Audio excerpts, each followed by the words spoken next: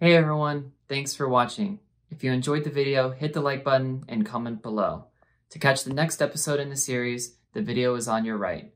If you'd like to access all of what Seacrest Development has to offer, hit the subscribe button in the middle and check us out on other social media platforms. See you next time.